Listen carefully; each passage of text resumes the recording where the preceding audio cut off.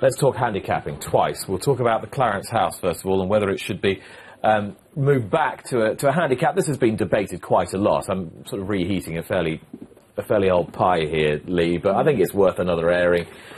Yeah. Would it would it make life better if, as Kevin Blake and others have suggested, we ran most of these races outside the, the very top grade ones as as handicaps? But what I'm suggesting in, in the in the column tomorrow, and not for the first time, is that I think with, with the two mile division in particular, you have a, a real case in point of an area where we've just gone too far one way. If you went back to the, the 1980s, which often people think of as a heyday of jumping the Desert Orchid, Burrough Hill Laddie area, um, in the two mile division, all the major races prior to the Cheltenham Festival Yeah. were handicaps. The Tingle Creek was a, a limited handicap.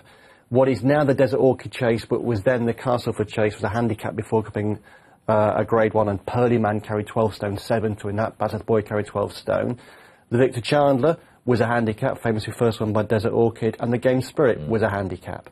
They're now all level weights, or in the case of the Newbury race, Grade 2 uh, weight for age contest, and they, they therefore inevitably um, attract s- uh, smaller fields. And we're also, we've got a smaller pool of horses to go for them. If you look at most Arkles, uh, until relatively recent, you'd have 13, 14, 15, 16 runners. Now 6, 7 or 8. Partly because you've got a JLT, but that tends to attract more 2.5 mile, 3 milers anyway. I don't think we need to have revolution, but I do think you can make a good argument to say that the Clarence House in particular would be better run as a limited handicap, a 150 grand race.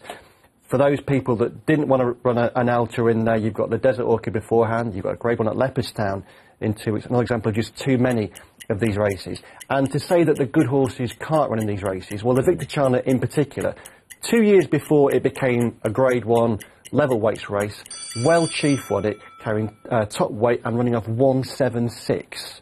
So you get good. There's no reason why a good horse can't or shouldn't carry top weight in a handicap. It's good for racing. Do you think I'll be able to read your column tomorrow in two minutes? you, you, you want to read it again and again and again, Nick. Of course. Of course.